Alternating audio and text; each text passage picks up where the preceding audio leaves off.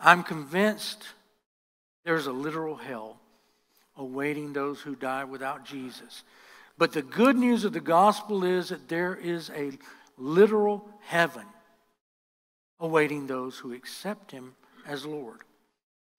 Now, many people have asked, especially in times of grief, questions like this Where is heaven? What is heaven like? Will our pets be with us in heaven? Will we live with our earthly families in heaven?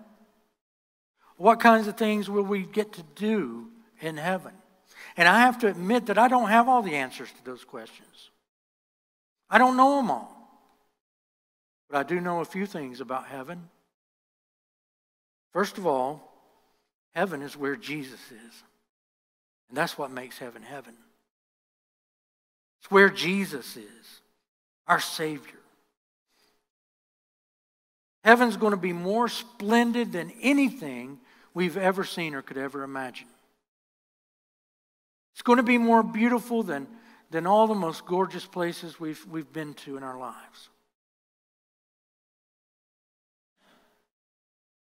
There'll be no more pain in heaven, no more dying in heaven. We can even get a glimpse of what heaven's going to be like if we live for Jesus while we're here. If we allow His Spirit to lead us in the paths of righteousness and enjoy the sweet fellowship of His family.